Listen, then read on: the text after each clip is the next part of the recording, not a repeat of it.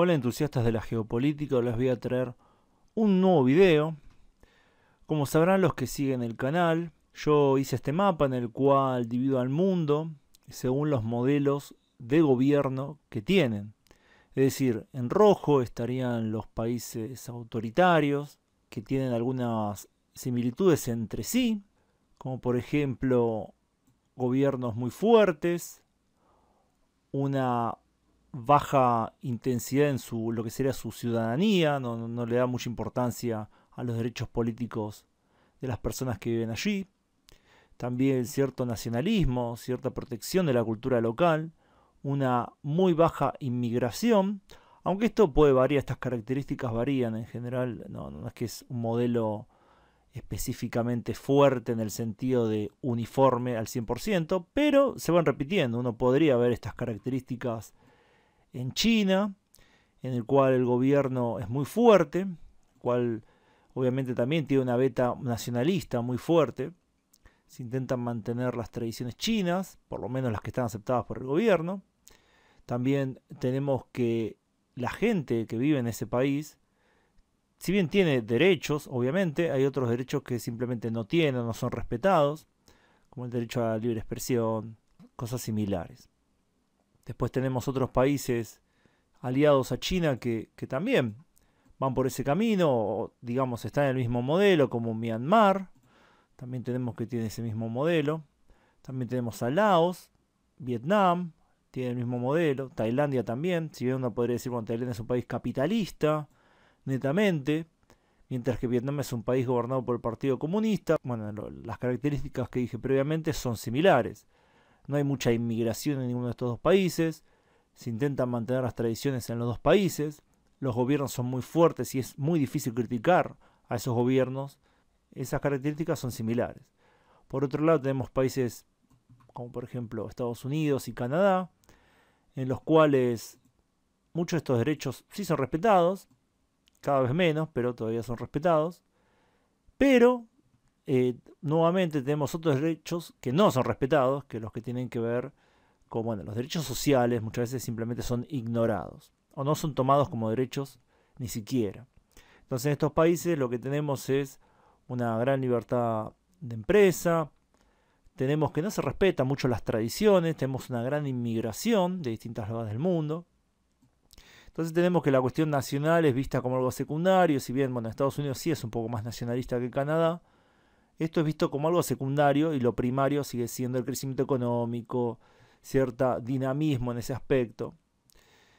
Entonces tenemos que entre estos dos modelos, lo que sería el ciudadano a pie, puede tener dos denominaciones distintas.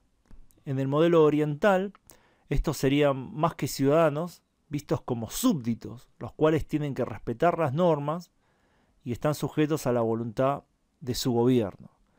Mientras que en el modelo occidental tenemos que estos, si bien son ciudadanos, son vistos más como consumidores y están sometidos a un bombardeo constante y a reglas muchas veces explícitas en lo que respecta a respetar justamente el poder de las grandes empresas y el poder del capital en general.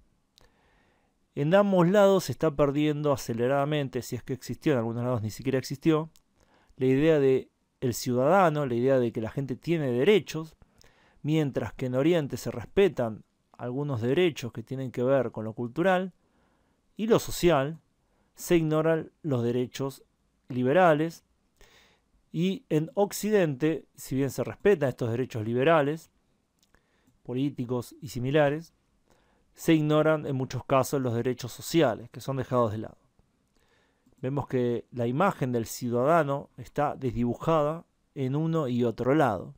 Entonces cabe preguntarse si un nuevo modelo, digámoslo así, una tercera vía, una tercera posición, no podría ser justamente la de respetar al ciudadano íntegramente, tanto en sus derechos políticos, en sus derechos sociales y en su derecho económico. Hay casos de países que intentan hacer cosas así, obviamente limitados, como por ejemplo Islandia. Tenemos que en Islandia hay plataformas para que los ciudadanos puedan participar de la democracia directamente. Esto, bueno, obviamente también en Islandia hay que decirlo, hubo muchos experimentos sociales, distintas cosas, como por ejemplo dar un salario a la gente por no hacer nada, cosas así. Son lujos que se puede dar una isla que es rica y con pocos habitantes y una cohesión social muy grande, ¿no? También hay que decirlo, esas son características especiales. Después también tenemos el caso de Taiwán, eh, bueno, cómo lidió con lo que fue la pandemia. Tenemos que durante este, ese momento, la, respuesta a, a, lo que fuese ese gran problema fue en torno a tres principios. Que sean políticas rápidas, divertidas y justas. Esto llevó al gobierno taiwanés a abrir sus datos, a convocar premios para aplicaciones de seguimiento de la disponibilidad de máscaras faciales y muchas cosas más. También se confió en la gente lo suficiente como para restringir los movimientos sobre la base de la autovigilancia participativa, e incluso se creó líneas de atención telefónica para que cualquier ciudadano pueda llamar con ideas sobre qué más se podía hacer. Es decir, se tomó en cuenta a los ciudadanos como entes participativos, autónomos y respetables, y no se los vio meramente como súbditos, el cual tienen que seguir ciegamente lo que dice el Estado, ni tampoco como meros consumidores que tienen que comprar su solución bueno, a los distintos problemas. China, por su parte, tuvo una respuesta totalmente distinta y de hecho está en concordancia con lo que es. Tenemos el proyecto Skynet, que esto significa que haya 400 millones de cámaras de vigilancia en ese país y un gran porcentaje de estas está conectada a un sistema de reconocimiento facial y otros programas de inteligencia artificial. Esto permite que el gobierno sepa casi todo lo que hacen sus ciudadanos. Esto puede ser desde las compras hasta el comportamiento como conductores, también teniendo en cuenta las publicaciones que hacen en las redes sociales y la cantidad de tiempo que pasan jugando a los videojuegos. Esto se enlaza con lo que es el sistema de crédito social, que justamente recopila los datos y que concede automáticamente premios o castigo. Un castigo muy extendido es la prohibición de comprar vuelos. Tenemos que, según las cifras del Centro Nacional de Información de Crédito Público de China, esto ya ocurrió 17,5 millones de veces a finales del 2018. Otros castigos incluyen la reducción automática de la velocidad de Internet o la confiscación de la mascota. Esto está en línea con la historia de China y con la historia de la gran mayoría de los países del mundo, sino todos, en el cual los sujetos bajo el Estado estaban vistos como súbditos que debían obedecer las normas. La historia de los consumidores, por otro lado, es mucho más reciente y surgió hace poco más de 70 años.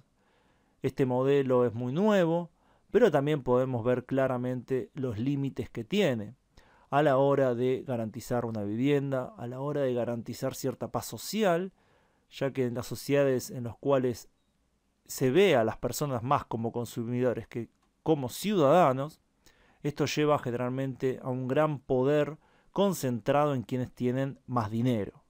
Y si bien en países como Estados Unidos no existe el crédito social, sí existen otros mecanismos de veto a la hora de limitar la libertad de acción de sus ciudadanos. Estos se hacen a través muchas veces de ONG, que son representantes de distintos grupos políticos y que están enlazados con empresas. Y una persona que está visto como indeseable puede ser marginalizada, dejándolo fuera del sistema de intercambio de dinero, fuera del mercado laboral y cosas similares. Así que habrá que ver si en los próximos años el modelo de consumidor logra imponerse al modelo de súbdito o si pasa lo contrario. Aunque también está la tercera opción, que creo que es la más probable, que estos dos modelos se terminen amalgamando, porque como dije, en Occidente también este modelo súbdito parece estar ganando cada vez más adeptos, mientras que en Oriente el modelo de consumidor también fue o está siendo amalgamado con el de súbdito. Ante esta perspectiva, sea de que gane el modelo de consumidor, el de súbdito o una amalgama, se podría hallar, como dije previamente, otra opción distinta en el cual se vuelve a poner énfasis en el ser humano como ciudadano que tiene derechos, el cual tiene que ser respetado y el cual inclusive puede participar tanto de las decisiones de gobierno como en las decisiones en los distintos entes económicos. Así que bueno, espero que les haya parecido interesante el video. Pongan me gusta si les gustó y compartan si creen que vale la pena compartir. Les dejo la pregunta. ¿Cuál creen que será el modelo que termine triunfando a la hora de la relación que hay entre los distintos entes de poder y las personas? Lo leo en los comentarios. Gracias a todos por su tiempo y gracias especiales a quienes colaboran con el canal en Patreon donde pueden acceder a contenido exclusivo además de aparecer en los agradecimientos de los videos de este canal, mi canal Ultra Argentina y mi canal Hipernada. Nos vemos pronto, saludos.